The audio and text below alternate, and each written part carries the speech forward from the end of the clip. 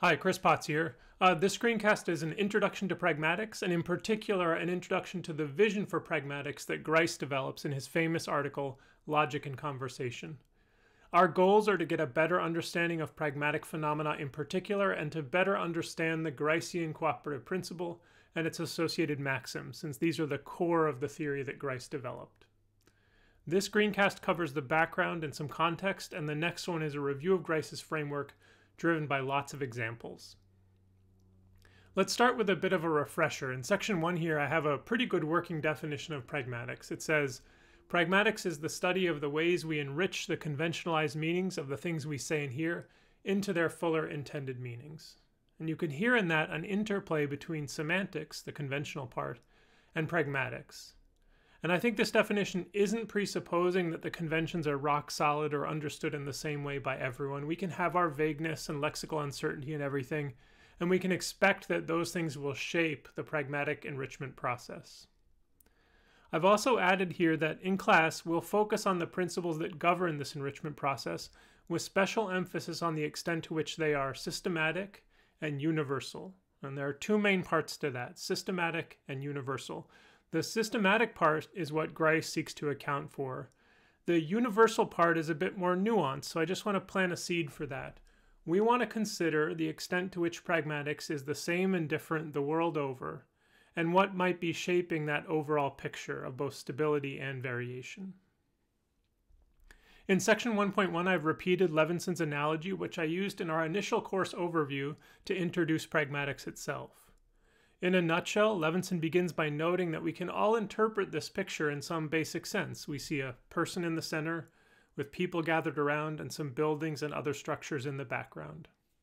And then Levinson asks us to look closely. Like, look again, this is just a bunch of scribbles. Nothing is depicted in any realistic sense here. And yet, via some amazing cognitive process, we're able to arrive at a common understanding of what's depicted. And I'd add that while we all probably share this common understanding, there might also be differences in what we see, and those differences might relate to our cultural backgrounds. For example, if you know a bit about Western iconography, you might infer that this is a Christ figure in the center with disciples surrounding. And if you notice that it's a Rembrandt sketch and you're an art history major, then you might be able to glean a whole lot more from that from the picture about when Rembrandt did this and what his goals were and how people received this picture at various points in history and on and on like that. Enrichment is systematic, but it can also be very particular to us as individuals and groups. And of course, Levinson's analogy is that understanding language is the same way, including both the common core and also all this very particular enrichment. Levinson says, an utterance is not, as it were, of a veridical model or snapshot of the scene it describes. Rather, an utterance is just as sketchy as the Rembrandt drawing. The utterances we exchange with each other are just sketches. They barely even outline what we want to communicate. And yet we're able to communicate our intentions. Again, some amazing cognitive, cultural, and linguistic processes are making this possible. And the goal of pragmatics is really to characterize these processes. This can be a window into cognition and culture, and it can certainly help with technology development, as I've noted in footnote 1 here. Section 1.2, an approach to variation. Let's frame out this important topic so that we can have it in mind as we work through the material. To start, I want to identify a tension that you'll see develop. One of the fundamental claims of pragmatic theory is that most, perhaps all, pragmatic enrichment is the product of basic principles of rationality. And we'll discuss what this means extensively. Grice is sort of characterizing a very particular notion of rationality. Okay, but this seems to suggest the absurdly incorrect conclusion that pragmatic enrichment is the same the world over. And I want to emphasize that that's truly absurdly incorrect. There is a lot of variation in terms of pragmatic enrichment. So here's how we'll seek to resolve this tension. We propose to resolve it as follows. The basic pragmatic principles are the same the world over. But just as our differing backgrounds lead us to extract different information from the Rembrandt sketch, so too can they lead us to different pragmatic enrichments. Let's turn now to section 1.3, a bit of history. Our associated reading is, of course, Grice's Logic and Conversation, and I'll say the paper is not an especially easy one to read, and some of the difficulties are the result, perhaps pretty predictably, of the fact that the context in which the paper was produced is really important. So these historical notes might help you situate you a bit as a reader. First, a connection with Chomsky. In the early 1960s, Chomsky showed us how to give compact general specifications of natural language syntax. You might have seen these things, sets of rules that explain which tree structures are grammatical in a given language. The idea is that those rules capture people's knowledge of language in some abstract sense and help us understand people's linguistic judgments and behaviors. Now, I should emphasize that Chomsky focused really only on form based things in language syntax, and also some morphology, which is really the syntax of words, and phonology, which is, on Chomsky's construal, the syntax of sounds in effect. And Chomsky was actively and very vocally opposed to studying semantics in the sense that we've been studying it, and the idea of studying pragmatics was completely beyond the pale. His view is that all of that was hopelessly unscientific and uninteresting from the point of view of language. And Chomsky can be really incredibly strident and dismissive, and he still sounds this way about these topics, uh, by the way. But he's he's a touch more subdued these day, these days since semantics and pragmatics are now very successful parts of linguistics, clearly. But back in the 1960s, he was really adamant that studying meaning was not studying linguistics. So, it's really to Grice's credit that he seems to have seen through all that. Philosopher and linguist H. Paul Grice had the inspired idea to do this Chomskyan thing for pragmatics. Chomsky was giving compact descriptions in terms of rule sets, and Grice wanted to do something similar for communication. Now, of course, any theory of pragmatics is not going to be composed of strict rules. Communication is much too fluid and free form and creative for that.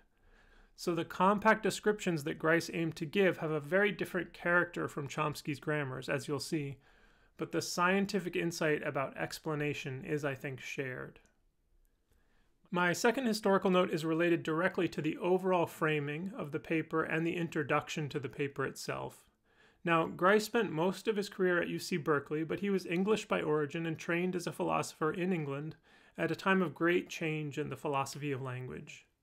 I won't read this first long quotation for you. The essence of it is that the old guard philosophers, when Grice was a student, Gottlob Frege, Bertrand Russell, Ludwig Wittgenstein, did study and write about language, but not with the goal of understanding natural language itself. Rather, they hoped to use natural languages as inspiration in some sense for developing logically perfect languages that could be used as the language of science. For example, I believe they hoped to automate discovery in mathematics and even in fields like physics and biology. The ordinary language philosophers came in somewhat later and were in part reacting to this approach. These philosophers include J.L. Austin and, in a twist, Wittgenstein, who famously rejected a lot of his earlier work and advised don't ask for the meaning, ask for the use, which is a radically pragmatic thing to say. These ordinary language philosophers wanted to take language seriously, and in doing that, they rejected the idea that logic and math and so forth could be of any use for studying language. They sort of embraced the messiness they saw and decided that that was the essential thing. Communication is messy. In this context, Grice is again a visionary and a mediator. He seeks to strike a balance between these two extremes. That is, he sees a role for logic and sees it as useful in understanding the apparent messiness of language. So he's a mediator helping to synthesize old and warring factions in philosophy and develop a new perspective on that basis. And that's really the backdrop for logic and conversation. Here I've reproduced the opening of the paper, and I hope that the above historical notes make it clearer what this passage is meant to do. The passage begins It is a commonplace of philosophical logic that there are, or appear to be, divergences in meaning between, on the one hand, at least some of what I shall call the formal devices, and he lists out some symbols. And, and by the way, this sentence is very typical of the Gricean style. The number of parentheticals is really remarkable it takes some getting used to, and it's very hard to read aloud, but it's all reflective of how carefully he's seeking to circumscribe his claims. Okay, so in essence, he's saying it's a commonplace of philosophical logic that there are divergences between the logical symbols and what are taken to be their analogs or counterparts in natural language. And you can see the alignment here. In the common notation of Grice's time, this wavy line was a negation. This wedge was conjunction, this V was disjunction, the horseshoe was if then, and this backward E was an existential quantifier, and this integral sign was a definite article of some kind. So that's the setup. And that's what the ordinary language philosophers took as their starting point. The natural language expressions don't behave like the logical ones, and so associating them in this way is misleading and wrong.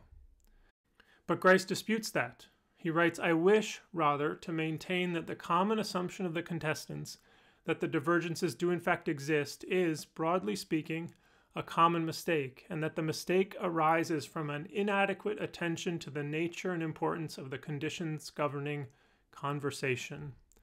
That's really the big idea. The associations that we just saw are real and useful, but they're about the semantics, and the apparent divergences arise systematically from the semantics and the nature of communication. So, really, he's saying what I said when I defined pragmatics. This is the study of the way we enrich the conventionalized meanings of the things we say in here into their fuller intended meanings. We take this framing for granted now, but it was really Grice who first articulated it in a compelling and clear way. By way of wrapping up this introductory screencast, I just want to quickly review some compelling pragmatic phenomena that we unfortunately won't get to discuss in detail in this course. I think you'll come away with tools that are helpful for explaining these things, but we won't get to do them justice here. First, quantifier domains. This has actually come up a number of times in our discussions of determiners. A naive view would be that a quantifier like everyone or no one will quantify over all people. But this is rarely the case. Rather, context is used to refine the domain. If I say, everyone did well on the quiz, I clearly mean everyone in this course. If I say everyone is back at the car, I probably mean everyone on the journey with us, and so forth. In this Everything Bagel panel, people are playing around with this, right? Twitter user Patrick Mark Ryan says, Come on, Everything Bagels, who are you trying to fool? You've got like six seasonings on there. That's a lot, but it ain't everything. And D. Weinman chimed in, Last time I had an Everything Bagel, I got poppy seeds, Mira Sorvino, and Hegel's Phenomenology of Spirit all over my shirt. Talk about going wide with a domain for everything. Uh, this Yogi Berra line is a classic that we could describe as in the no deletion, right? No one goes there anymore. It's too crowded, meaning no one cool or no one in the know. Modality, in particular modal auxiliaries like must, can, and may, this can be so frustrating. In my elementary school, students were often admonished for saying, Can I go to the bathroom? rather than May I go to the bathroom. I consider this an injustice. Can in English has both ability and deontic, that is, permission oriented readings and the teachers knew which one we meant.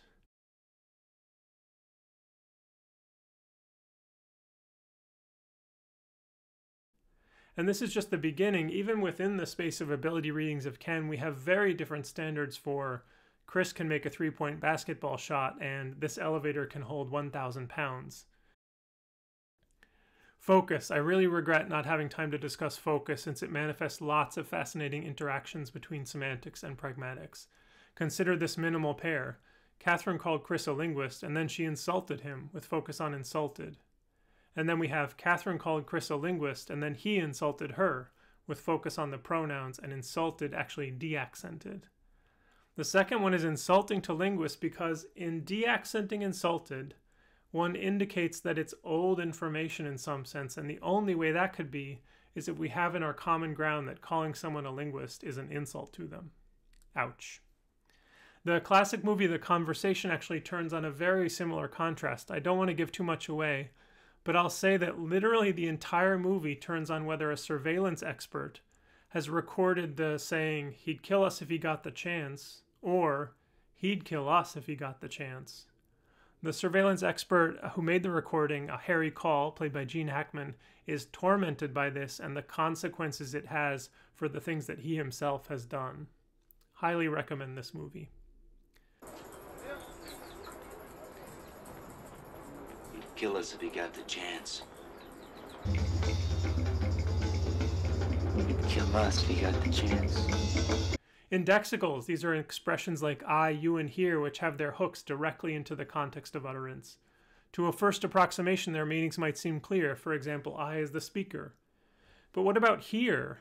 Uh, it might mean here is in the classroom, here is in at Stanford, or here as in on planet Earth. though the final one will violate some Gricean maxims until travel off the planet becomes common. So, the standard for what counts as here is highly variable. And what about cases like reference transfer, as when someone points at a map and says, we want to go here? And this is just the beginning of the pragmatic complexity.